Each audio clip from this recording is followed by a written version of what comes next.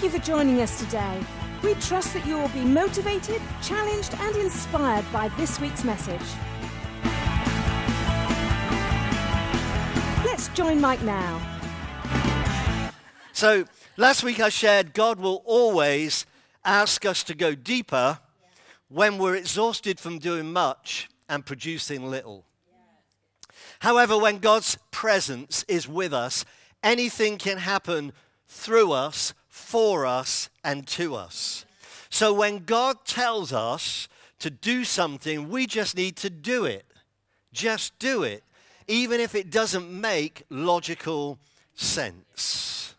Amen? Amen. Amen. I'm going to talk a bit more about that over today and next week. Because when you know who God is, you trust what he asks and you go where he leads. You see, today you have an opportunity to develop your relationship with God by going deeper. And I'm not talking about getting more theological. I'm just talking about your faith going to another level. You trusting God on a whole nother level so that God can do something in your life that He's never done before. So, we're talking about going deeper, and when we first give our lives to the Lord, if we're honest, we're pretty shallow. Because really, what our life is all about with God when we first give our lives to God is what He can do for us, not what we can do for him. How many of you know that that's shallow? And unfortunately, a lot of believers stay in that place, always putting the emphasis on what God can do for them rather than what they can do for God. That doesn't stop God challenging them. It doesn't stop God challenging us. And I tell you why he does it because there is so much more that he wants us to experience, and it's all about serving him. It's all about giving our lives to him. It's all about growing in him. So I want to talk from a different perspective today. I want to talk about going deeper from a different perspective.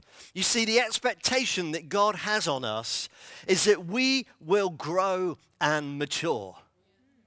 That we will grow and mature. The purpose of leaders is that they will equip the people to build the church, listen, until they reach maturity. Listen to it in Ephesians 4, verse 12. Their responsibility is to equip God's people to do his work and build up the church. That's you and I, the body of Christ. This will continue until we all come to such unity in our faith and knowledge of God's Son that we will all be mature in the Lord, measuring up to the full and complete standard of Christ. In the message, it says it this way He handed out gifts of apostle, prophet, evangelist, and pastor teacher to train Christ's followers in skilled servant work. I want, you, I want to just take a pause there. Just look at that, that phrase skilled servant work. Church and the building of church doesn't just take heart, it takes skill. Too many believers think, well, you know, it's okay if someone's heart is in it. Meaning that if they don't have much skill, it's okay as long as their heart's right. I want to just challenge that and say, if your heart is right, you'll have a heart to do things in the best way. And you will discover that everybody has a skill when it comes to bringing our gifts to the table. So your skill might not be to get up here and preach a message and prepare a message and you know work out how you're going to kind of frame the whole thing. What's a, what's we could do a teaching a, a, preaching masterclass right now, and we could talk about the way I will construct a message and and what I'm looking for and the point I'm trying to get over and how we do that and how we prepare that. Because it takes skill. I can't just get up here, open my mouth and expect God to fill it with words. God could do it, but equally, God might just say, you know what, I'm not going to do it because I want you to use your skill to be able to share the message. So every one of you has got a skill. You just discover what it is, and then you bring it to the table in the house of the Lord. There will be people coming into this church, and their skill will be to be up here preaching. Their skill will be to be up here leading worship and being part of the worship team. But others will come in, and their skill will be to welcome people on the door and give people the biggest smile that they've ever seen. And they will feel like this is home the moment that they walk over the threshold of that foyer.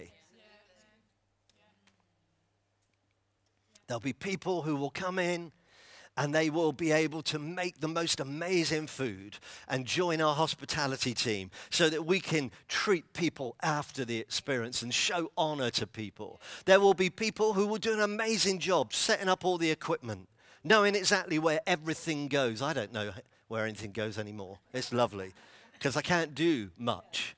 And that's what the team wanted to do. I used to be able to set up the whole thing on my own. No longer. No longer. I didn't really want to develop that skill. Anyway, I'm getting completely off my message, and I do not have the time to go anywhere but my notes today. So, um, anyway, let's get back. So, skilled servant work, working within Christ's body, the church, until we're all moving rhythmically and easily with each other. I was going to say this in a minute, but man, oh man, have I got my work cut out because my job is supposed to train Christ followers until we're all moving rhythmically and easily with each other. Right there is the biggest challenge for a pastor. Getting people to get on with people is like a challenge. Because have you noticed that God just brings the most strange people together? I mean, I'm not calling you strange, I'm just saying you know, it, it's a strange kind of thing that he does because he throws us together, but we perhaps wouldn't naturally have relationship with each other. That's why I'm saying it's strange. I'm not calling you strange. You're not strange. You're great. And he says it's going to be really working towards efficient and graceful in response to God's Son. So that's how it's going to work out moving rhythmically and easily with each other, efficient and graceful in response to God's Son, fully mature adults, fully developed within and without, fully alive like Christ. I'm looking at that going, man, do you want to add anything else, Lord? You know, I mean, it's already a challenging job. I mean, if, even if you just gave us the, the, the, responsibility of trying to get people to get on with each other, that's like one major uh, challenge right there. But you go on to say that, you know, we got to be moving rhythmically and easily and efficient and graceful. And we got to, we've got to develop people to be fully mature and fully developed within and without, fully alive in Christ. Woo! Good job I know I'm called to this. Because I think I'd run a million miles if I realized that that was my responsibility and I wasn't called. So I'm totally committed to helping you to develop a deeper relationship with God. But there's something that we have to do if we're going to go deeper. And it was interesting how God just this week gave me this message. He gave me two messages. I have both complete messages. That never happens to me, but it did this week. I was then like, well, Lord, have you given me this one for next week or this one for this week? Which one do you want for this week and which one do you want for that next week? And I'd rather not have a choice. I just prefer to have one and then I know where I'm going. But he confirmed that this was the one. Here's the key and what we need to do if we're going to go deeper. It's found in our key scripture Matthew 6 verse 33 Seek first the kingdom of God and his righteousness, and all these things shall be added to you. God wants us to seek him first, not consult him last. How many times do we consult God last. When we can't find a solution anywhere else, we go to God and go, God, And I believe every time he turns around and he goes, finally. If only you come to me first. Seek first. See, we've got to get to a point where we always seek first. If we're to go deeper and grow stronger, then we have to seek first. It's about being solely kingdom minded, totally focused on God, and not fully consumed by things. And when I say things, I'm not meaning uh, just the things that we would normally associate with things here because it gives us a couple of examples. So we automatically think that actually we're being told about possessions. You see, life can become all consuming, but we have to be completely God focused. Things will always distract us. There will always be things, or if you're in America, things. That has a totally different meaning in Australia. They wear thongs on their feet. Thongs.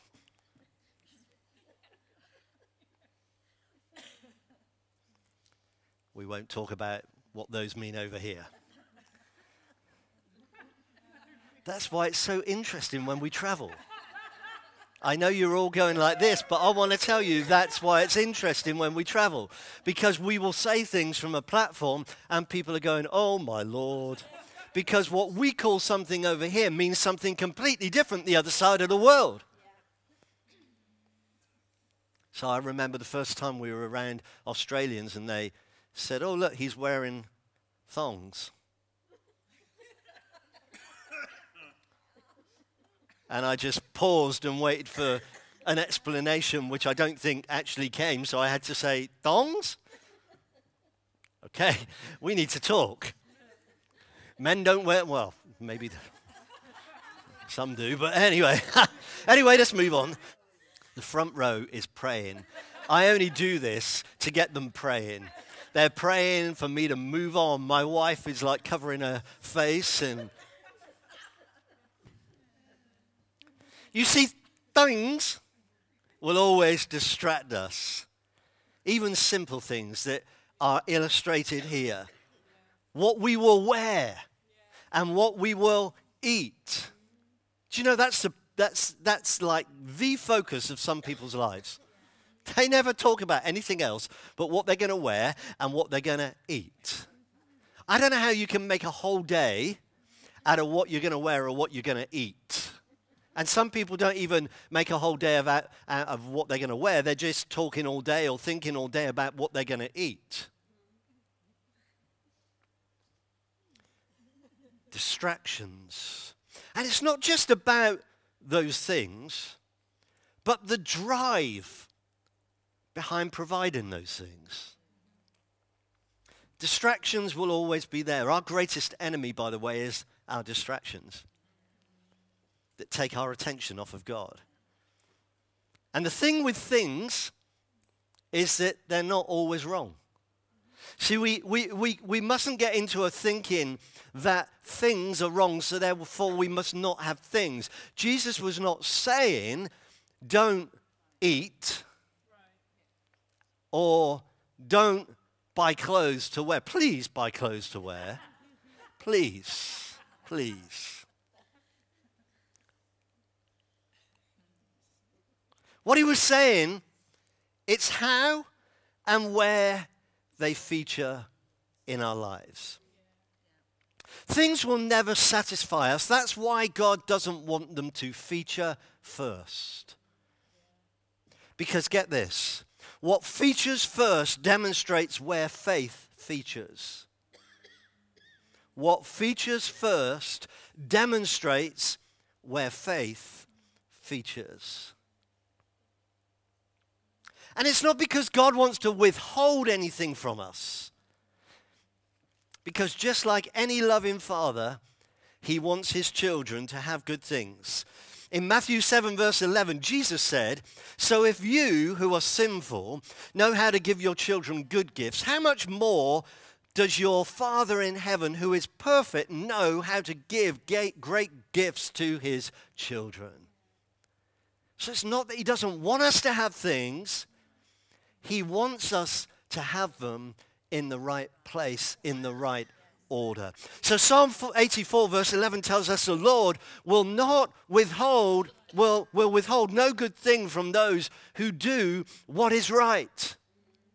The Lord will withhold no good thing from those who do what is right.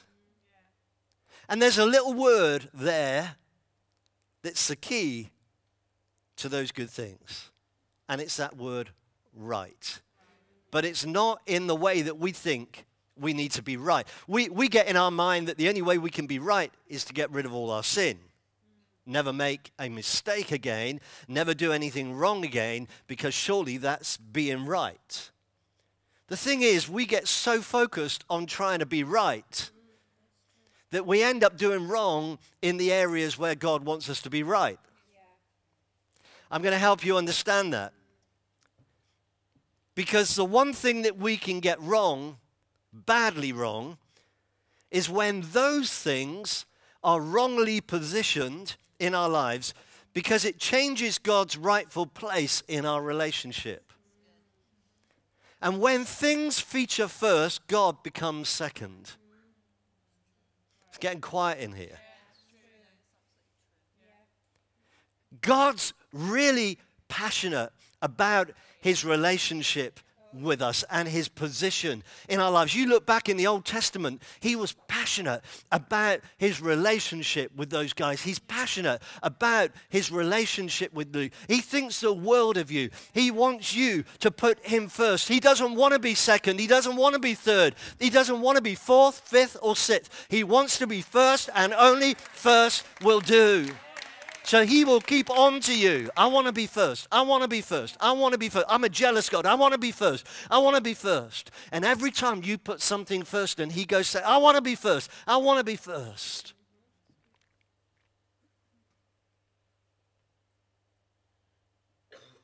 See, we have to trust God that if we put him first, all these things will be added to us. It's a promise. Jesus said it, we can believe it. He said, If you seek first God and his kingdom and his righteousness, then all these things will automatically, we could put in there, be added to you. There is no question about it.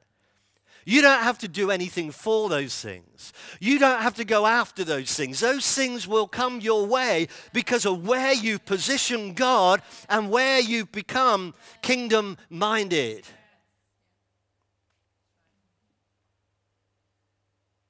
There is another little proviso. If we're going to seek first, we need to understand that we need to seek his face and not his hand. If we seek God's face, we will move God's hand. I believe that's really what it's saying. Seek God first, and you'll move his hand to give you all the things that you need.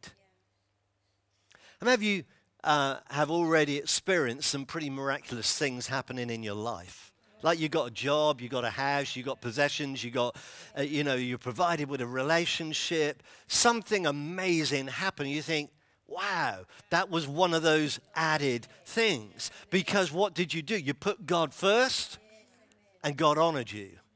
If you honor God, God will honor you. If you're faithful to God, God will be faithful to you. If you put God first, God will make you a priority. Come on, someone. That's good news. That ought to get us on our feet, giving him praise, giving him a clap for his word. Come on, I see I'm going to have to work harder today to get you on your feet to give him praise. Come on, he is worthy of our praise. If you put him first, he will prioritize you. Amen. We will get to a place, I believe, where you won't need any encouragement to get on your feet and give God praise. Why do we think our feet don't need to be used? When the word says, His word is a lamp for our feet. If it's a lamp for our feet, we ought to get on our feet and give Him praise. Well, Pastor, I never got up and applauded the message before or God's word before. No, so it's a good time to start. Think of all the years you've missed out. The church I grew up in, we never would do that. We never said anything. We were just silent in the message. We were being taught the word of God. How dare we interrupt? You see, that's our mindset. If we are in agreement, don't we vocalize that, verbalize that? Don't we come together and say, yes? It's funny how we have one principle, and I said this last week for the football match in the concert venue, but we have another principle for church. It's like when we go and see our favorite artist, we're on our feet and we're singing, even if we can't sing in key, we're still singing at the top of our voice and cheering and, and doing all the things that you do when you're in an atmosphere of being with people. We come to church. How about if we just changed the culture of church. How about, and we are going to be in the minority, especially around these parts. We're going to be in the minority, but that's all right. We've always been in the minority. We've always been a little bit out there, kind of doing things that no one else has done, no one dare do. And I'm sure that others will rise up and say things uh, about what we're doing and whatever else. But listen, I believe God is worthy of praise. And I haven't got time to really go off on this, but I'm just trying to help you understand why we're trying to develop passionate people within God's church to respond in the way that we would in other places to show God that actually do you know what? We're going to respond best when we come to church. We're not going to respond better when we go in and cheer for that little ball going around the field. We're not going to go and cheer better for our favorite artist. We're going to cheer. Come on. We're going to cheer and give God praise. Say, Lord, you are worthy of the best applause. You're worthy of the loudest shout and the biggest clap. Amen. Amen. Oh, you, if only you could see what's happening in heaven right now. Go, destiny, go, destiny, go, destiny. The angels are all. There's a rapper up there somewhere as well, a rapping angel. They're living on the edge. Anyway, no, we won't go back to that. See, it's all about our priorities when he's our number one priority in pole position, it's amazing what he can do and what can happen. What, what happens in our lives when we make him number one? We find a deeper joy, we discover a deeper peace. We experience a deeper love. We develop a deeper hope. We encounter a deeper power and we build a stronger faith. And that's next week's message. See, you've already had it. I'll go into a little bit more detail. But God wants us to have a deeper joy. He wants us to have a deeper peace. He wants us to have a deeper love. He wants us to have a deeper hope. He wants us to know a deeper power. He wants us to build a deeper faith. And making God priority by seeking first and having a heart for God and His house like we've never had before is what it's about. It's about saying, do you know what? I've kind of been committed to God's house, but I need to go, like I said last week, all out. I need to go all out. I need to give it my everything. This needs to be my focus. This needs to be my priority. You know, when I hear people saying family first, I don't want to get into this because I'll go down the road and not be able to come back. But you know, family is not before God and His church. Family are meant to be part of God and His church. If I put family before God, then I'm making God second. That's not what God intended. I'm sorry if that's, you know, a shock to my family if they're tuning in today, but you'll always come after God. You'll always come after God. My wife comes after God, and I come after God in her relationship.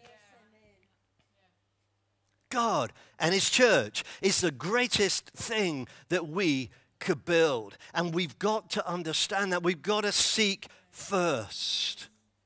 Just like the message puts it in our key scripture steep your life in God reality, God initiative, God provisions. Don't worry about missing out. I think that's half the problem. We think we're going to miss out. We see the Joneses next door getting a new car and a new this and a new that, wearing a new outfit, getting a, you know, more food than we get. And we think, well, we need to keep up with them and we need to do this and we need to do that. And God's going, no, no, no, no, no. You're living according to a different mindset. You need to be kingdom minded and all those things will be added to you. In fact, you will have more because I'm going to bless you more. But you've got to put me first. Seek first. You'll find all your everyday concerns will be met. Let me just come from another angle just for a few minutes before we end. A few weeks ago, I shared a, a, a message on Ezekiel 47. And towards the end of the message and passage, it, it, it, talked about trees growing along both sides of the river. Trees whose leaves would never turn brown or fall. Fruit that would always be on the branches with new crops every month. And fruit that would be food and leaves that would be for healing. When we look at those trees, I'm sure because of what I shared, you're like, yes, we're those trees. We're those trees always bearing fruit. How many of you want to always bear fruit? You want your life to always be fruitful. You want to, you want to be fruitful and multiply. Is that right, ladies? It doesn't just mean that. But you want to be fruitful and multiply in every area of my, my wife's having a hot flush right now. Fruitful and multiply in every area of your life. So you're fruitful at work. You're fruitful it, within your family. You're fruitful. Everything you, you put your hand to, you're fruitful. You always bear fruit. And there's new crops every month. And what you offer brings healing to not just you, but others. And it's so encouraging to see that. And we feel so good when someone tells us that we're the, those trees, but we have to be careful we don't miss something so vital, the, uh, a vital ingredient of those trees being so strong and so full of life. And that vital ingredient is how they were planted. In Isaiah 37, 31, it said, This remnant that emerge and survive will strengthen their roots and become productive again. The New King James Version says that they will take root downward and bear fruit upward. They will take root downward and bear fruit upward. That's how they'll survive. That's why they will succeed over and above others. Why? Because they will take root downward and bear fruit upward. They go deeper and they take root. See, large trees with thick, full branches have a massive underground support system, root system, spreads deep and wide.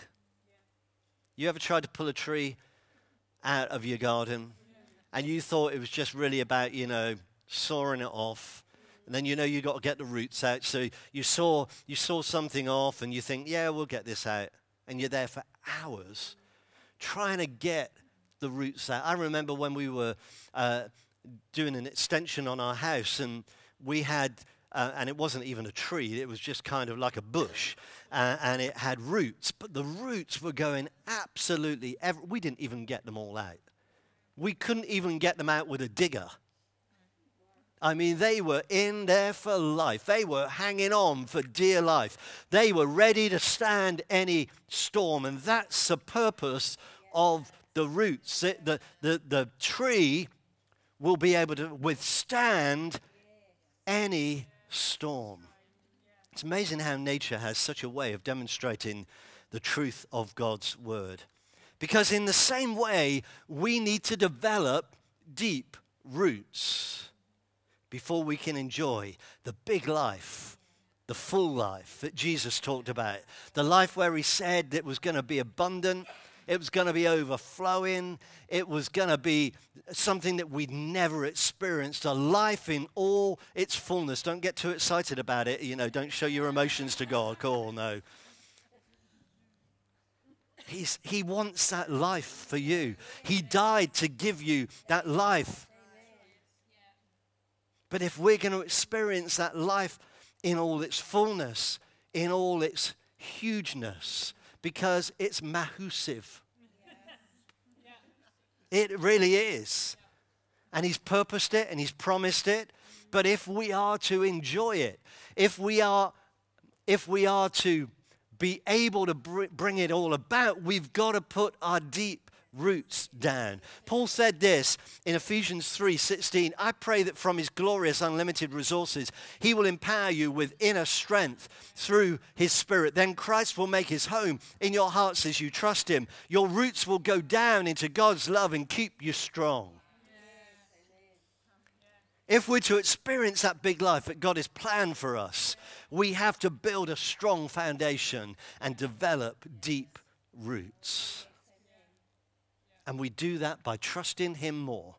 And the more we trust Him, the more we're saying, we're allowing you, oh, here we go.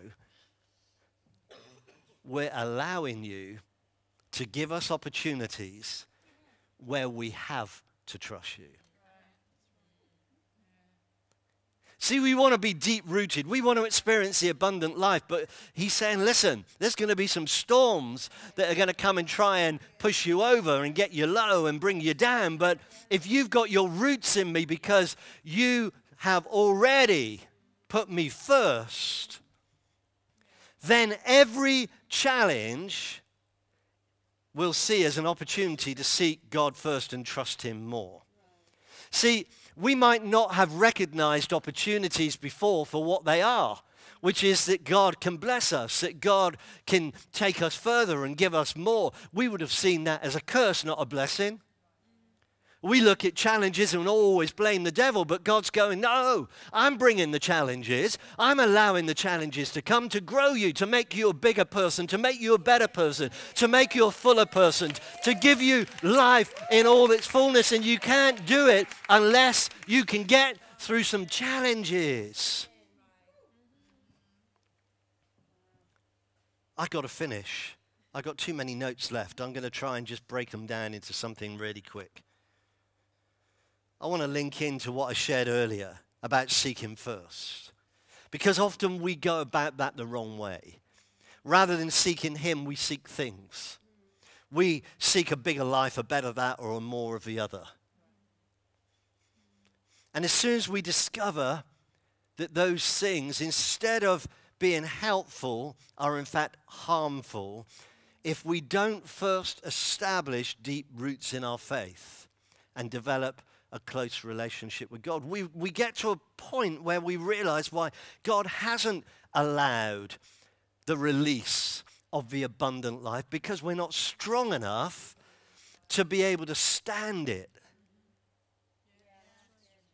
So we end up in this bit of a quandary. I mentioned last week that the way God designed us was to live with Him because we're not created to survive without Him. And that means we've got to have a very close relationship with God. We've got to be able to trust Him in the most uncertain times. It's all about our relationship with God. You will get to a place where you realize that if you've not already got there. You'll stop seeking after things because you'll get to a point where you realize things cannot give you the satisfaction that God alone can give you. And there are plenty of people not in church today out there doing their shopping, out there trying to look for fulfillment and satisfaction. And they're going to this store and buying that thing, hoping that it's going to give them that sense of fulfillment, only to find it's so short lived that they're then back on to the next project or thing to give them satisfaction. And then they go through that and they're searching again. God says, Seek first the kingdom And then you will be fulfilled, and then all these things will be added to you. I, I want to just emphasize again God is not against things, He's just, he's just making sure of where they feature in our lives. So some of you found yourself in this dilemma because you believe God's word. You trust what God says, that He wants you to have this abundant life. And yet you look at your life and you go, well, you know what? It's not overflowing, it's not full. In fact, it's anything but. And you think, why? Why is my life not like how God said it was going to be? And I want to give you a simple answer because you have not yet put him first. Seek first. Not gone deep enough. Because God keeps his word. So there is no doubt that he's going to add these things. He doesn't promise anything without fulfilling it because he knows that our lives are all about broken promises.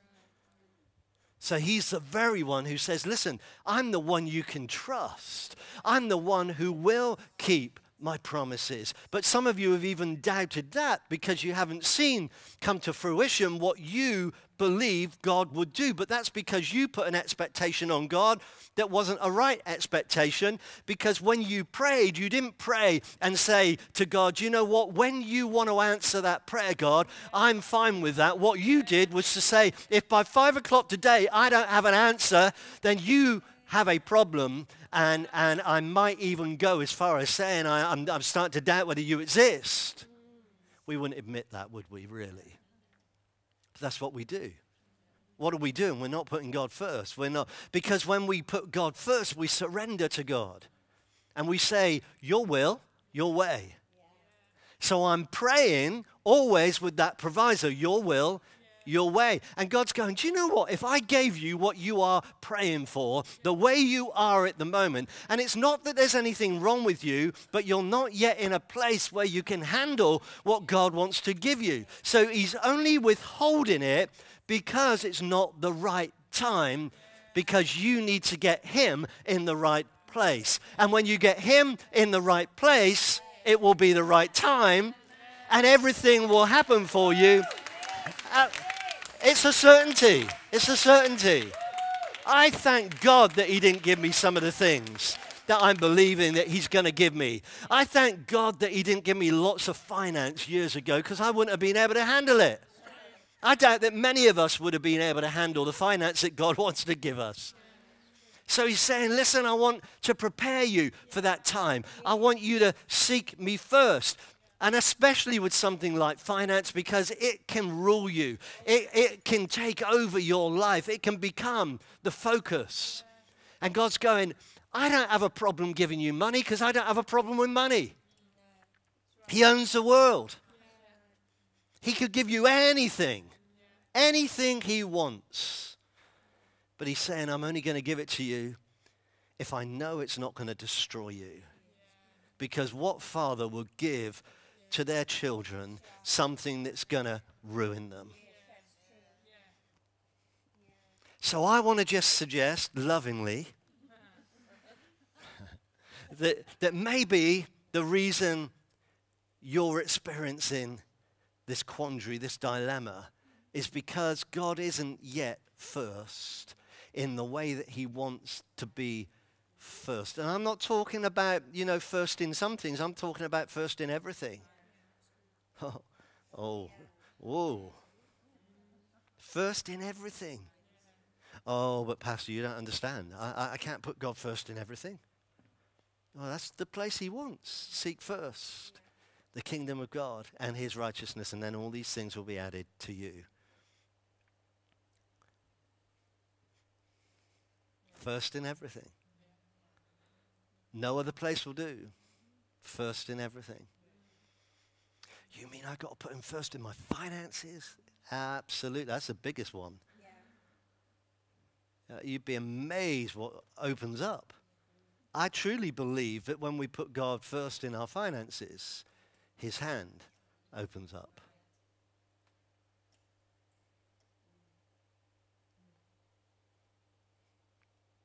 first in our decisions, that we go to God and go, God, what do you think about this? I want to know what you think. I want to know your heart rather than me jumping in here and doing what I think is right. I want to hear you. Now, if you're going to hear God, you've got to have some conversation with Him. You've got to give Him some space. And that's the other problem. I'm not going to get onto my team training uh, message this early, but now some of you know what I'm going to be talking about. We've got to give Him space.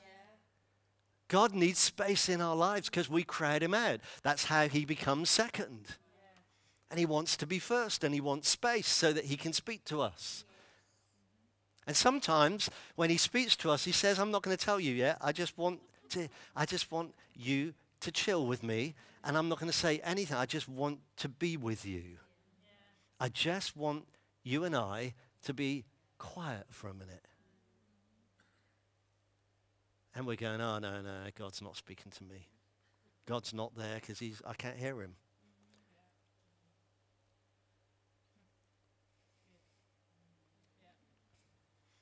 Whatever you might be going through right now, understand this. Everything that God allows us to go through is purpose for us to grow through.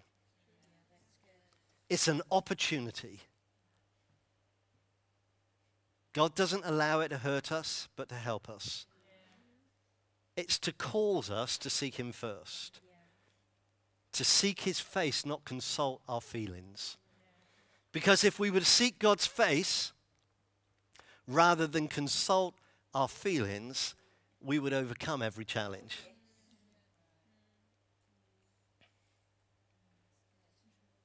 Oh, that's a big one. Not going to God with our shopping list.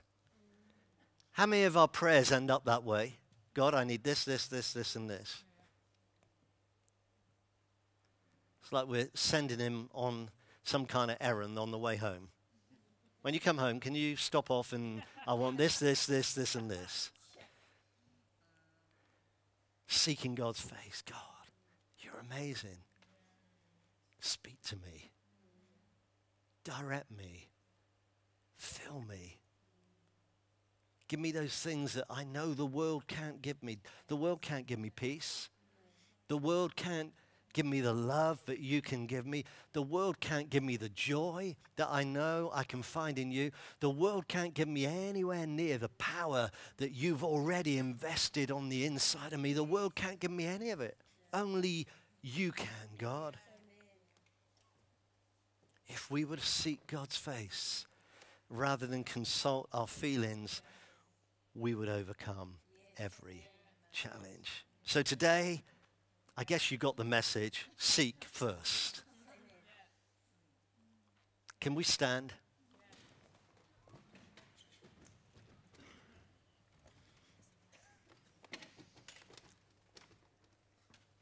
Maybe you've been uh, searching for answers, seeking direction.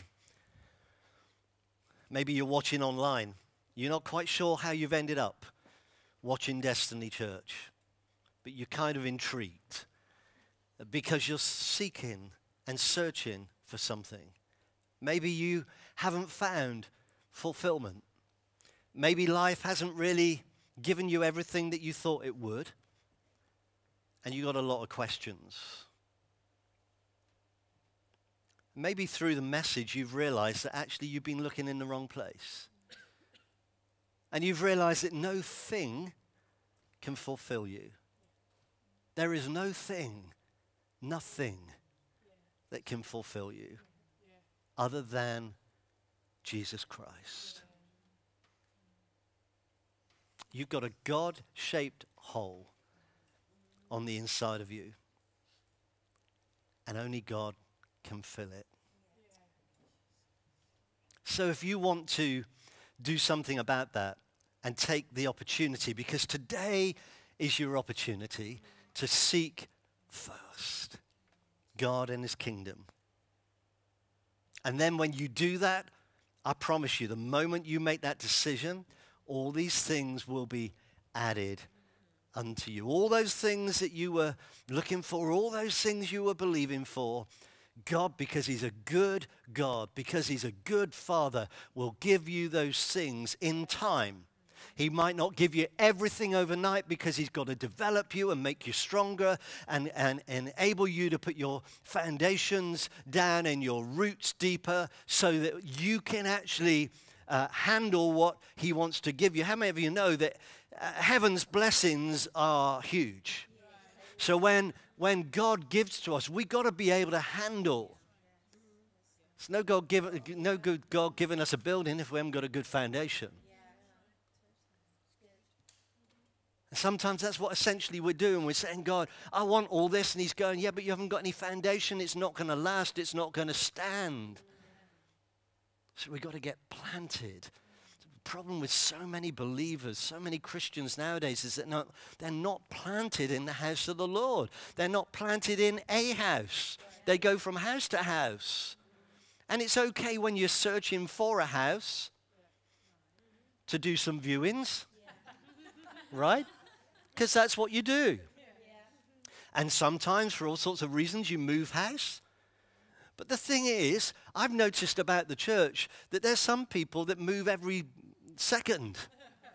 You know, so we, we need to get rooted in the house of God and say, This is my home. This is where I'm going to do life. This is where I'm going to build the church because God can use me in this place if I will just get committed and rooted and planted in His house. We can then build a strong foundation where God can build His church. But you've got to get planted. So I want to encourage you as you pray this prayer, if you've never accepted Jesus before, also be committed to putting your roots down somewhere. Yes, that does mean that we need to go and join a local church. And there's some great local churches all around the world. Become part of what God is doing. So if that's you, I'm going to pray a simple prayer. Give you the opportunity to say, you know what, today I'm going to seek first because I've never, ever, this is my first time of seeking. So I've never done this before, and it's time. It's my time. Yes, it is your time. And it's a privilege to be able to share this message with you. So we're going to pray believing that there might be people here, there might be people online that have never, ever given their lives to God. And we get really excited when we start doing this and we hear that people have given their lives to Jesus because just like heaven rejoices over one person that makes this decision, so that we get excited about this. So we're going to believe. Father, just pray these words after me. Father, thank you that today I found you. And I want to seek first your kingdom and your righteousness. And I believe that just like Mike said, all these things will be added to me. Not because he said it, but because your word said it, and your word can be trusted, and your promises are kept. You fulfill every promise, and you keep to every word. So today, I hand over my life. I surrender my life to you. I thank you for all that you've done in giving me Jesus and what I'm going to explore through unfolding this love and this grace and this mercy. And I want to just give my life to you and say sorry for all the things that I've done that are wrong that I'm aware of in this moment. Because as we pray, I become aware of the things that I haven't got right. But I thank you that I also become aware of the love that's so deep and wide and high and long that it's way beyond my life. It's way beyond my, my, my mental capacity to take it in. And I thank you that there is a great, great life ahead of me. So today, from this day on, I want to seek first your kingdom and your righteousness, Lord, in Jesus' name. Amen. If you prayed that, can you let us know? Did anybody pray that in a house? I just never ever take for granted that everybody's always prayed that prayer. So if you prayed that online, would you let us know? And we will help you connect to a local church. If you can't find one, let us know. We'll do everything we can to uh, get you into a local church. Why, why, don't we do we why, why don't we do something in faith and just give God praise for the fact that someone prayed that today? Come on, let's put our faith out there. Thank you, Jesus. Thank you, Lord. Yeah.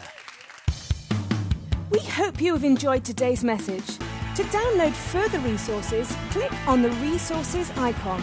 If this message has impacted your life, we would love to hear from you. So don't forget to join us next week for another inspiring message.